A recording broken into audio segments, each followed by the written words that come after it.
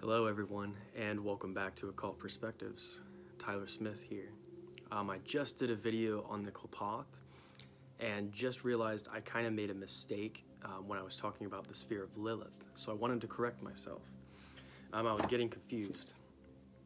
Um, so if we take, um, and if you're jumping straight into this video, go back and watch the last video that I just posted, um, which is an introduction to the Qliphothic tree.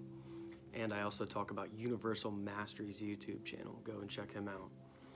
But anyway, the Qliphothic tree, we're looking at it, you know, here's Malkut and it extends into the sphere of Lilith. Um, they're kind of like one and the same in a sense.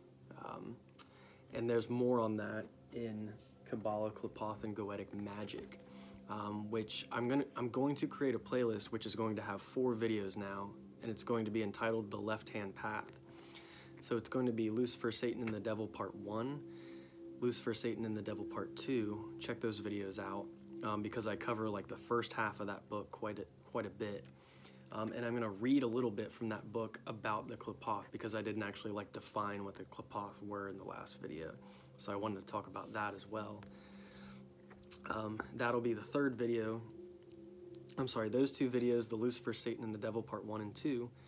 And then the third video is the last video that I just uploaded today.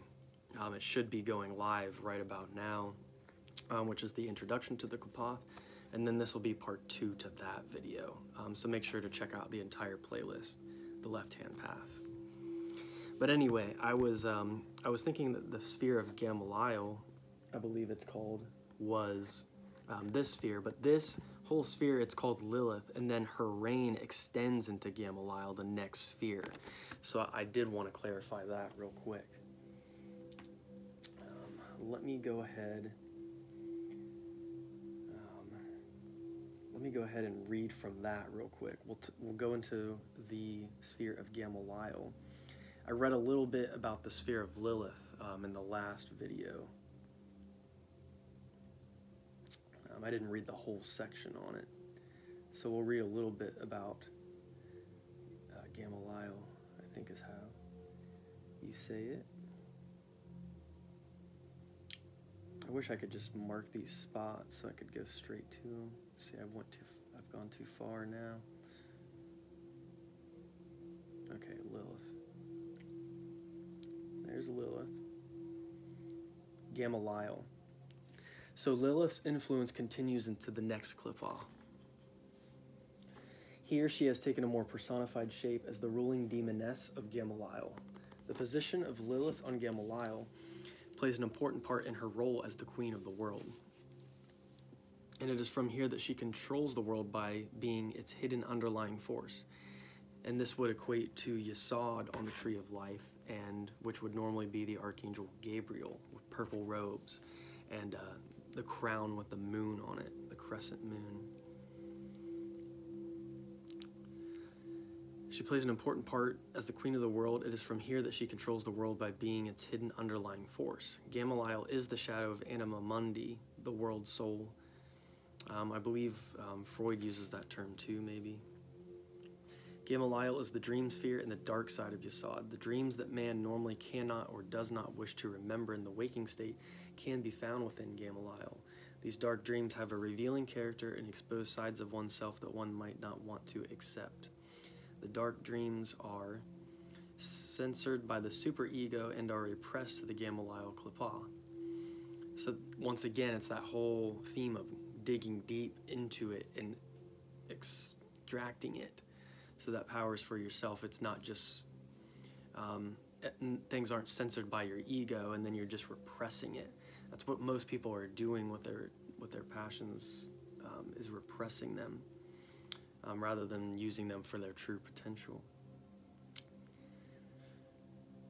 Thus, Gamaliel is the Qliphoth of dark dreams. Gamaliel is above all the sphere of forbidden sexuality. While Adam and Eve represent sexuality of a dutiful nature whose purpose is reproduction, Lilith and her demonic lovers correspond to an initiatory sexuality in which the force of Eros is used to reach higher states of mind. A dark magician enters Gamaliel to become fully aware of the mechanisms of sexuality and thus cease to be enslaved under hidden instincts. The origin of lust is also revealed on this Qliphoth.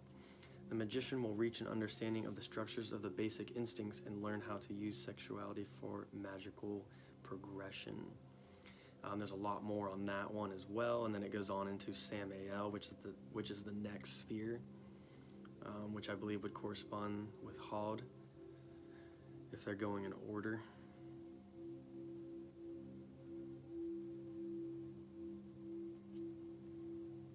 I'm not seeing where it says which Sephiroth corresponds with.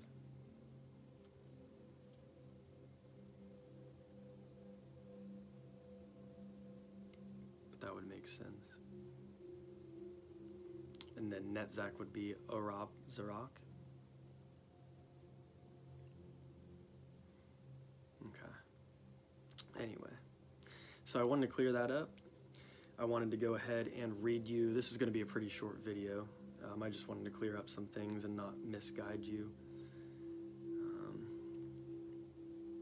I'm going to read you just a little bit on what the Qliphoth, what they are. Soon as I find that part.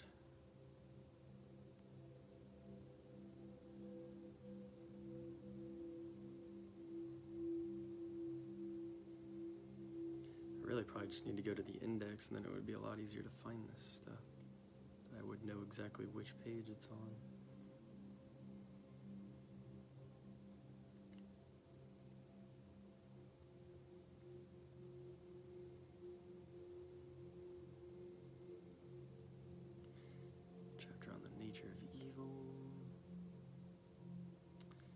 Have to go to the index real quick. This is I have everything zoomed up close.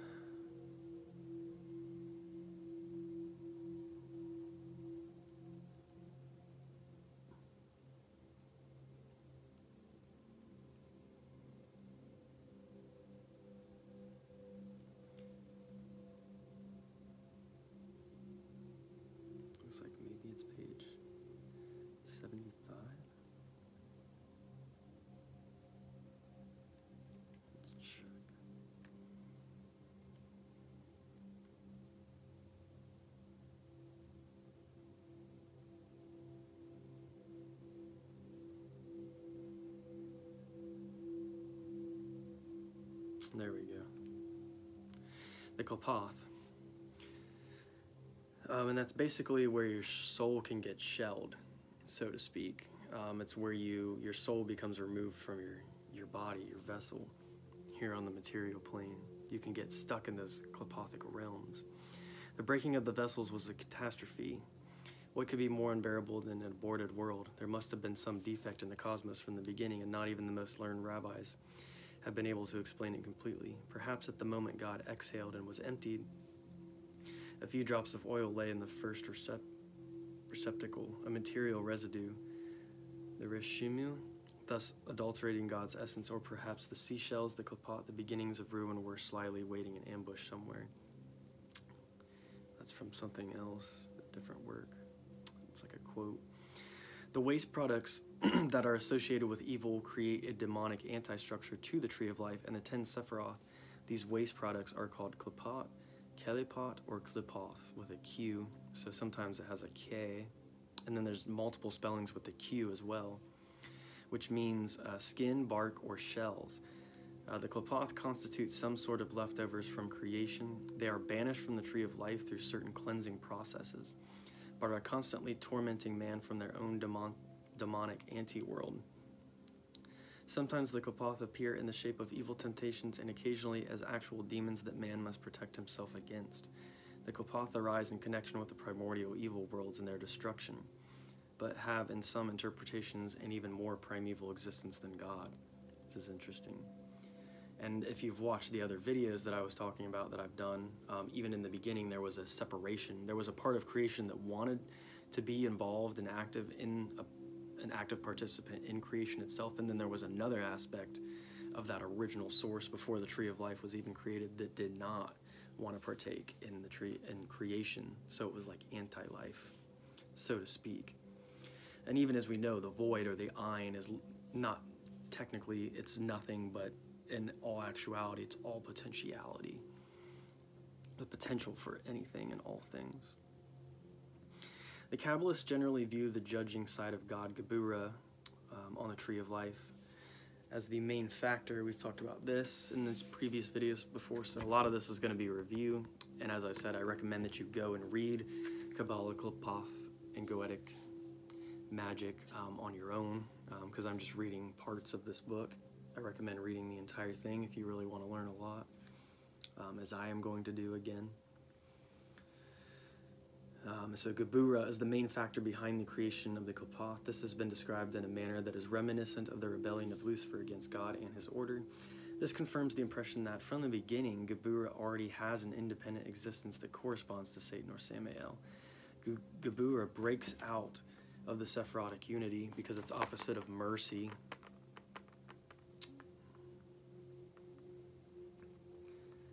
Geburah already has an independent existence that corresponds to Satan or Samael. It breaks out of the Sephirotic unity and declare, declares, I shall rule. It is forced back into the Sephirotic balance, but certain parts of it force escape. These parts of Geburah turned against God and began their own emanations, which the Kabbalists describe as a mockery against the divine worlds. Just as the worlds of the Sephiroth are 10 number, the emanations consist of 10 dark anti-worlds, um, with Da being the portal that leads to them. The primordial demonic couple Samael and Lilith, who represent the Qliphoth, rule them. The Kabbalists refer to the Qliphothic worlds as bastards and claim that they correspond to the act of creation but in the form of illegitimate sexuality. And we know today, in today's world, how, you know, how shallow marriage usually is anyway very rarely that two people that are married is it actually souls that are really working on themselves and you know trying to attain you know unity with the divine? Is that usually the case? No they're just lost kind of in the matrix of things you know so to speak. Um, so to me marriage true marriage has kind of lost all of its merit. People don't really know what it means to merge with another person. That's a that's a huge undertaking if you're really wanting to merge your soul with another person you know, that's a whole different topic or, or subject. Um, marriage. anyway. The Qliphoth are called the excrements of creation and are occasionally associated with the material world and sometimes with something that is even lower and worse in the Kabbalistic hierarchy. Certain Kabbalistic scholars want to connect the Qliphoth with the Asaya or Asiya, the lowest level on the tree of life to which the Sephiroth Malkut belongs but at the same time, the ten Qliphothic anti-worlds correspond to the entire Sephirotic structure with all four planes. So some only want to connect it with the lowest level, but they actually correspond to all four planes. So you have the, the world of substance, the Saya, and then the highest is the Atziluth, the world of archetypes, uh, the element of fire, the world of emanation.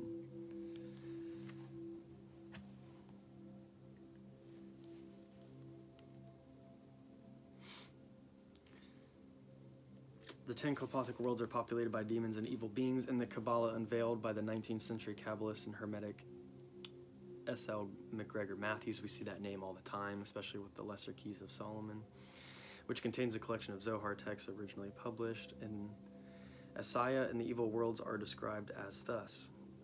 The fourth is the Asiatic world, the world of action, called also the world of shells, which is this world of matter made up of the grosser elements of the other three, but in it is also the abode of the evil spirits, which are called the shells by the Kabbalah, Qliphoth material shells. The devils are also divided into 10 classes and have suitable habitations. So that's all I'm going to read as far as what they talk about. Um, the Qliphoth, there's a chapter, it looks like that's actually called just the Qliphoth, and it's like one, two, three, four.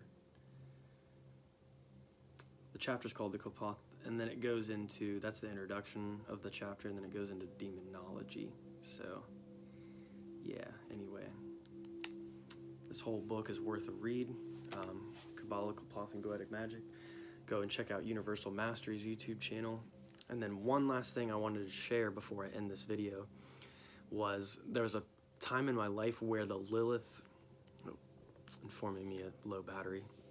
There was a time in my life where the Lilith aspect kind of made itself synchronistically manifested in my life.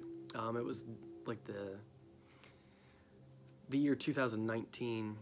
Um, in the year 2019, um, I had like a really sorry somebody commented on my video that I just posted. It looks like I wasn't able to see it though. Um, but in 2019, um, I had like a really rough breakup. It was it needed to happen. I was already you know like kind of like moving in the opposite direction anyway. And I was in a band, a Grateful Dead tribute band called Terrapin Moon, and I had just happened to right around a Lilith new moon, and I had just been learning about the aspect or the archetype of Lilith, you know, who she was, the first wife of Adam, and how she was kind of this liberating force, you know, that breaks you out of bondage uh, when things don't serve you anymore. And I met this girl that night um, named Lily, and I thought that was a really cool synchronicity. And then she kind of continued to talk to me, and we ended up kind of hanging out. And she's still a dear friend to this day. And um, that was kind of a catalyst for getting me out of that relationship at the time, um, of freeing my mind. Um, and that was, you know, that was like her role at that point in my life was to help me see, oh, here's somebody that I'm not even in a relationship with, and you know, there's so much life and so much beauty there, and um, I just started spending time with that person, and um, it was this liberating force that helped me feel a lot freer, and then my life changed from that point onwards as well. It's like really ever since you know 2016 i would say you know the the reality that has been manifest has has progressively changed. It's like i'm not even living in the same world. I think in some ways in my in some aspects of my life i've been through you know consciously very dark places and i've you know experimented with consciousness so much. In some ways i think i have kind of worked with the darker side a lot but not in an initiatory structure um, and nothing like the Qliphoth, you know, actually going through and working yourself through those fears. But there have been like moments in my life which are definitely dark night of the soul moments where you like break your ego. Your ego basically um, gets broken down, and then you have to almost like relearn life again. Um, I've had those moments of transformation, especially being a quadruple Scorpio in my astrological chart, four planets in Scorpio, you know, Sun, Moon, Mars, and Mercury. So I just wanted to share that little tidbit of information too. I thought that was kind of cool how that all lined up and aligned in my life. So, alrighty, I think that's enough videos for today. Um, so I hope there's not an audio problem. Um, I hope you can hear me.